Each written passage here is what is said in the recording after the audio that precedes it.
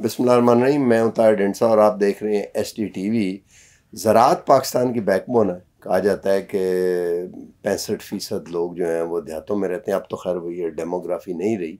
अब तो शायद पचास फ़ीसद से भी कम आती हो। लेकिन फिर भी इक्कीस फ़ीसद हमारे जी डी पी में कॉन्ट्रीब्यूट करता है। हमसाया मुल्क में बड़ा एक दो साल गहमा गहमी जो उसे कहते हैं ना, फटा चलता रहा। उसकी बेसिस ये थी कि समझा ये जाता है कि एग्रीकल्चर में टोटल लेबर फोर्स की नाइन परसेंट को काम करना चाहिए, बाकी इंडस्ट्री में काम करें। तो एक एफिशिएंट इकॉनमी सामने आती है। But Punjab on the both side of the border कुछ इस तरह का है कि बल्क ऑफ़ द लेबर जो है वो 21 फ़ीसद जी है हमारा। लेकिन लेबर में अगर आप देखें तो इससे बहुत ज़्यादा लेबर एग्रीकल्चर सेक्टर में काम करती है।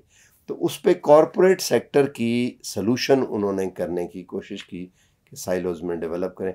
अब पाकिस्तान में भी कॉरपोरेट सेक्टर की तरफ़ एग्रीकल्चर में कॉरपोरेट फ़ार्मिंग की तरफ़ रुझान है। इसका मतलब ये है कि कॉरपोरेशंस की तरह इन्वेस्टमेंट हो और उसकी जो प्रोड्यूस है, उसको किसी भी इंडस्ट्रियल प्रोडक्ट की तरह फ़रोख्त किया जा सके मार्केट में और ताकि उसमें तरक्की हो, लैंड, इन्वेस्टमेंट आए और सारा कुछ।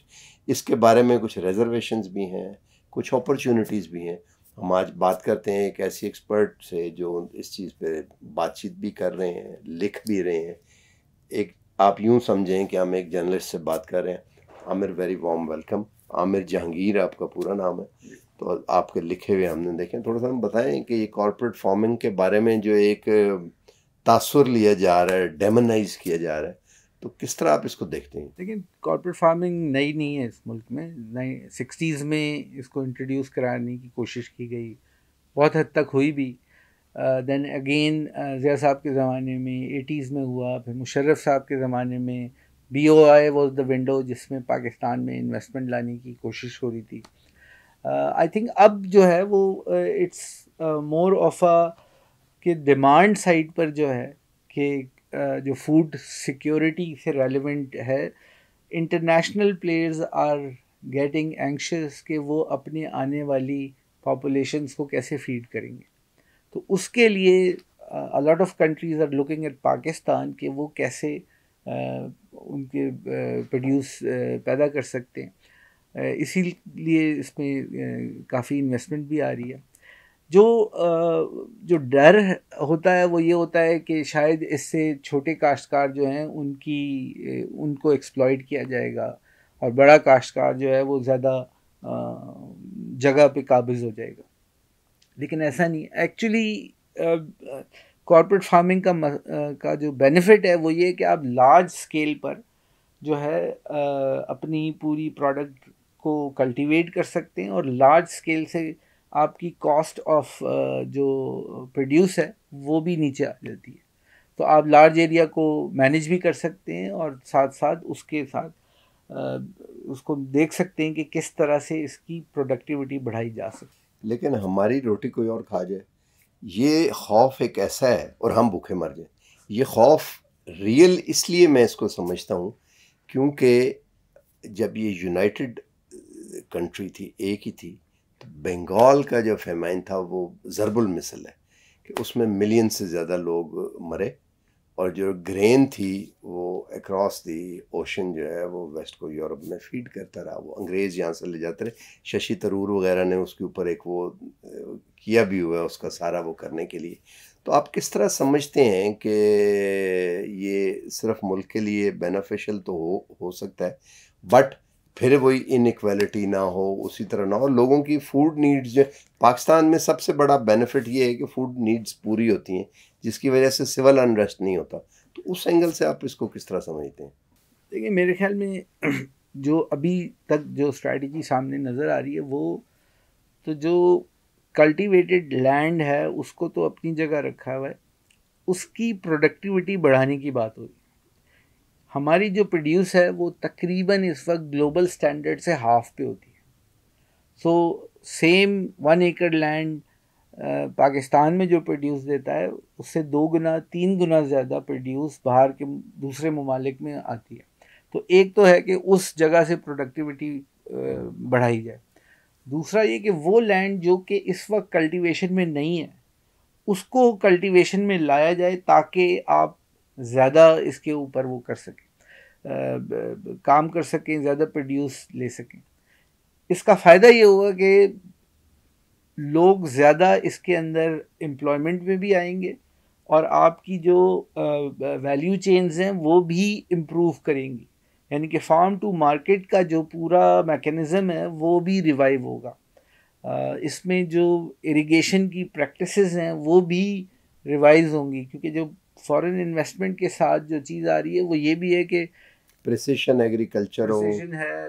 ड्रिप एरीगेशन है क्योंकि हम अभी भी फ्लड एरीगेशन पे बिलीव करते हैं। फ्लड एरीगेशन में पानी ज़ाया होता है। पानी ज़ाया होता है इन्वायरमेंट के बहुत सारे और चैलेंजेस आ जाते हैं। लेकिन जो एक चीज़ बड़ी इंपॉर्टेंट है वो ये कि जो पाकिस्तान का जो काश्तकार है अभी भी जो बीज यूज़ कर रहा है वो तकरीबन तीस चालीस इवन पचास साल पुराना बीज है जिसने over a period of time उसकी प्रोडक्टिविटी भी कम होती जा रही है। सो so, अब हमें क्लीन बीज की ज़रूरत है ऐसे बीज की ज़रूरत है जिसकी प्रोडक्टिविटी ज़्यादा हो। जो शुगर केन के हैं वो 500 टाइम ज़्यादा प्रोडक्टिविटी देते हैं। लोग डरते भी तो है ना क्योंकि एक दफ़ा अगर बाहर से जैसे बीटी कॉटन थी एक दफ़ा बीज आए तो फिर हर साल बीज खरीदना पड़ेगा, करने के आपकी डिपेंडेंस क्रिएट होती है। तो वो जो इंडस्ट्रियल शैकल्स हैं, उसका एक खौफ आपको नहीं लगता कि बड़ा पाया जाता है इधर, जिससे ये सारा नैरेटिव जन्म लेता है और आगे चलता है। इंडिया में इसी वजह से एग्रीकल्चर रिफॉर्म बहुत सारी जो है, वो उन्होंने कानून तो वापस नहीं किया बट उसकी इम्प्लीमेंटेशन को उन्होंने काफ़ी हद तक रुकवा दिया। वहाँ पे देखिए इसमें बहुत सारी मिथ्स हैं और बहुत सारी रियलिटीज़ भी हैं। बहुत सारे ऐसे बीज हैं जो अल्टीमेटली आपकी जो ज़मीन की पैदावार है उसको फाइव टू सिक्स ईयर्स में बिल्कुल प्रोडक्टिविटी उसकी ज़ीरो कर देते हैं।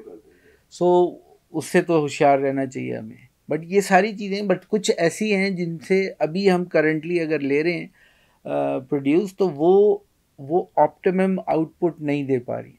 जिससे उसकी पर यील्ड जो है, जो पर एकड़ जो यील्ड है, उसकी कॉस्ट जो है, वो शायद फार्मर की कॉस्ट को वो मुनाफा नहीं दे पा रही, जिससे वो एक एक्स्ट्रा अपना कंट्रीब्यूशन कर सकता है। उसके लिए हमें फ्रेश एंड सीड्स की ज़रूरत होगी। अब सीड्स जो हैं, वो ज़्यादातर पाकिस्तान में इंपोर्ट होते हैं। आ, हमारा अपना जो सीट का जो वो है बैंक वो रिसर्च ही काफ़ी अरसा से साठ के बाद तो ये जो फैसलाबाद यूनिवर्सिटी वगैरह में इरी चावल वगैरह रिसर्च इम्पोर्ट वो तो ज़ाहिर रिसर्च नहीं हुई भी ना। जी तो उस तरफ़ भी कंसंट्रेट करने की ज़रूरत है लेकिन जो इम्पोर्टेंट बात है कि वो पाकिस्तान को अपना एक सीड बैंक बनाने की भी बड़ी ज़रूरत है ताकि हम उस डिपेंडेंसी से क्या चैलेंजेस हैं इसके गवर्नेंस के? ये अगर कॉरपोरेट फ़ार्मिंग जो है it's a novel idea Pakistan के लिए तो मैं ये समझता हूँ कि नोवल से ज़्यादा एग्जॉटिक आइडिया किसी हद तक। तो इसके लिए जो बेंच मार्किंग है, इसका जो लीगल फ्रेमवर्क है, जो guard put in legal safety guards बीच में पुट इन करने की, ताकि जो पब्लिक जो मालिक इस मुल्क के हैं अवाम हैं सारे लॉन्ग रन में और शॉर्ट रन में उनके मफादात पे कहीं ज़रब ना आए व्हाट डू यू थिंक कि क्या किया जाना चाहिए उसके लिए? देखिए एक काम तो बड़ा अच्छा किया कि इस बजट में पाँच साल के लिए एग्री टेक पे टैक्स हॉलीडे दे दी। तो इसका मतलब है कि बहुत सारे लोग इसके इस सेक्टर में आएँगे एग्रीकल्चर टेक्नोलॉजी में इन्वेस्ट करने। जिससे शायद मैकेनिज़म्स भी क्रिएट हों शायद उससे सीड क्वालिटी भी इम्प्रूव हो। जो बिजनेसेस इससे इमर्ज करेंगे वो uh, भी टैक्स फ्री होंगे। सो so, एक कंसंट्रेशन तो अभी step in the right direction है कि हमने आइडेंटिफाई किया है कि ये हमारी प्रायोरिटी एरिया है। वर्ल्ड इकनॉमिक फोरम ने जो अपनी मार्केट्स ऑफ़ फ्यूचर की रिपोर्ट लॉन्च uh, की थी इन मार्च uh, उसमें agritech was the number one opportunity for a country like Pakistan और उसमें uh, यही था कि किस तरह से हम अपनी करंट प्रोडक्शन को मल्टीप्लाई कर सकते हैं। और किस तरह से नई टेक्नोलॉजीज़ को अडॉप्ट करके हम मोर लैंड फॉर कल्टीवेशन को डेवलप कर सकते हैं। सो आई थिंक जो नई अप्रोच आ रही है जो इसमें इंपॉर्टेंट चीज़ है वो फ्रेमवर्क uh, जो है ना वो अभी क्लियर नहीं है उस तरह से कि अगर कोई कंपनी uh, आके इन्वेस्ट करती है और वो रिपेट्रिएट करती है अपना पैसा uh, उसके क्या वो होंगे? वो तीन साल पाँच साल बाद वो किस शक्ल में जा रहे होंगे? क्या पाकिस्तान उस वक्त जो है इस... या प्रोड्यूस जो है उसकी वो पाकिस्तान जैसे गंदम मिल ख़रीद लेते हैं स्पोर्ट प्राइस पे क्या उसकी प्रोड्यूस यहाँ पे ज़रूरी होगा करना या सारी बाहर चली जाएगी और हम उसे रोक नहीं सकेंगे? आप ज़्यादातर तो ये होता है कि जब फॉरेन फंडिंग के साथ जो हमने सारी दुनिया में देखा है वो यही होता है कि countries use that land to produce for their own citizens यानी कि जो प्रोड्यूस वहाँ पे होगी वो वहीं इस्तेमाल होगी वहाँ से निकल जाएगी। यानी कि अफ्रीका में बहुत सारी ऐसी जगह हैं जहाँ चाइना ने इन्वेस्टमेंट की है और राइस वो वहाँ कल्टीवेट करते हैं बट वो फिर वहाँ चली जाती है।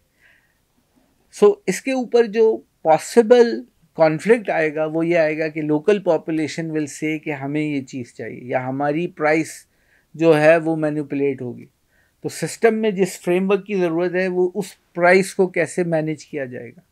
अदरवाइज़ तो we will be creating something जिसके ऊपर स्पेकुलेशन क्रिएट होगी और स्पेकुलेशन में सिर्फ़ प्राइस पे नहीं, जो चीज़ आप प्रोड्यूस कर रहे हैं, जैसे आपके घर से तेल निकल रहा है तो आप मालिक हैं। सॉवरन राइट है आपका निकलता है। अगर आप प्रोड्यूस कर रहे हैं तो ये भी होना चाहिए कि जब ज़रूरत होगी तो उस वक़्त इसको बाहर नहीं भेजा जा सकेगा प्रोड्यूस को कुछ इस तरह के फ्रेमवर्क में मैं इसलिए कह रहा हूँ कि अभी आप देखें कि यूक्रेन से वो जाता था अफ्रीका को तो रशिया ने सिर्फ़ ये किया है कि उनका एक ब्रिज उड़ा दिया उन्होंने ड्रोन से। उन्होंने कहा, हम इसकी सिक्योरिटी के ज़िम्मेदार नहीं हैं ब्लैक सी में। तो अब ख़तरा ये है कि अफ्रीका में जो है लोग भूख से मरेंगे, बहुत सा, बहुत महँगा होगा। अकवा मुतहदा के सेक्रटरी जनरल ने जो है एंटोनियो गुंटास ने उसने डायरेक्ट अपील की है। रशियन प्रेसिडेंट पुटिन से। अब यहाँ जो खरीद जो लैंड ख़रीदी गई है, वो गालिबा China Saudi Arab even Russia भी सुना इंटरेस्टेड है ख़रीदने में। तो ग्रेन भी जो है, वो जैसे तेल एनर्जी है डू यू थिंक कि ये और मुल्कों में भी है यूरोप के जैसे योगोस्लाविया था, उधर भी हो रहा है। तो एक स्टेज के ऊपर कहीं खुराक पे भी उसी तरह की मिनोपली तो नहीं डेवलप होने का ख़तरा हो सकता है। मेरे ख्याल में अगर आप इसको एक और फ्रेमवर्क से देखें जो कि स्पेशल इकोनॉमिक जोन्स के पर्सपेक्टिव में है।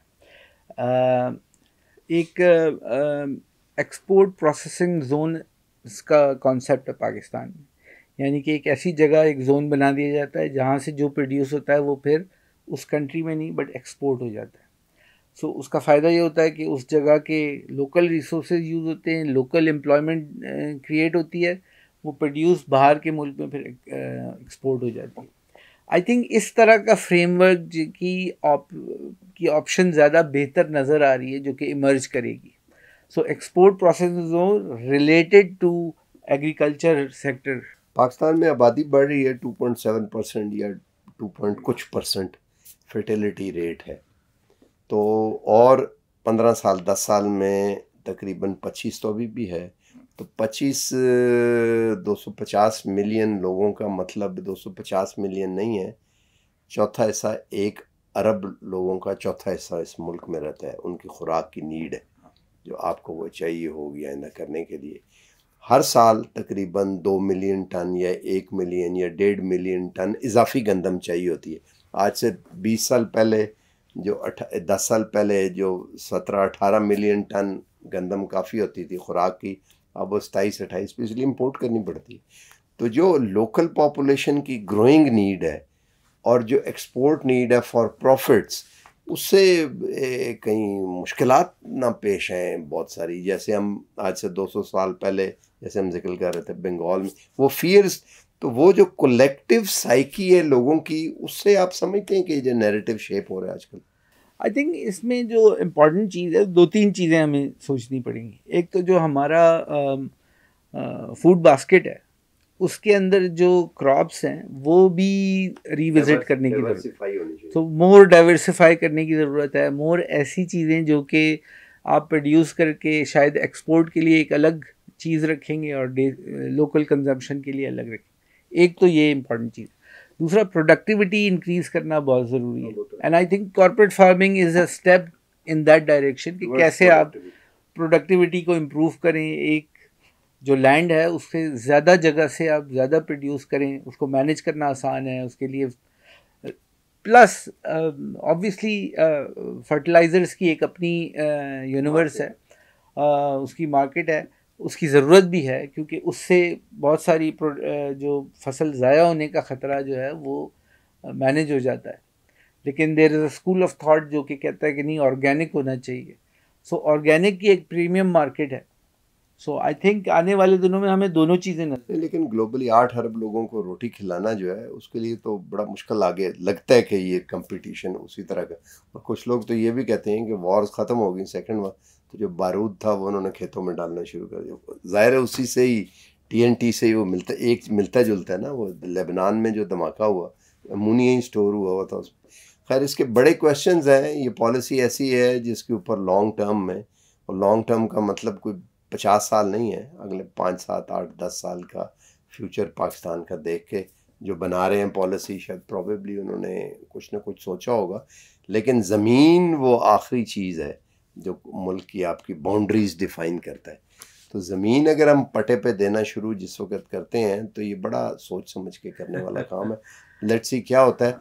और we keep our finger cross कि अच्छा हो क्योंकि ज़ाहिर है मेरा ये ख्याल है कि ये भी कॉन्सेप्ट थोड़ा इवॉल्व हो रहा है because when you are in fourth industrial revolution में जो वर्चुअल वर्ल्ड में डिजिटल वर्ल्ड है उस पर जो डेटा की फुटप्रिंट है और जो वो वर्चुअल वर्ल्ड क्रिएट हो रही है, उसके डेटा ऑल्सो डिसाइड्स के आपकी size of the economy size of the country कितना मैटर करता है।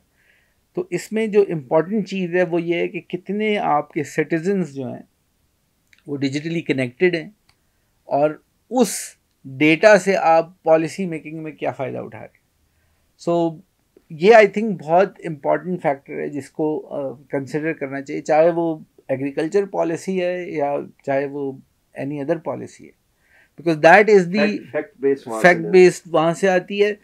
अभी तो एप्रीहेंशन हम सोचते हैं कि ये हमारा ख्याल है कि होना चाहिए।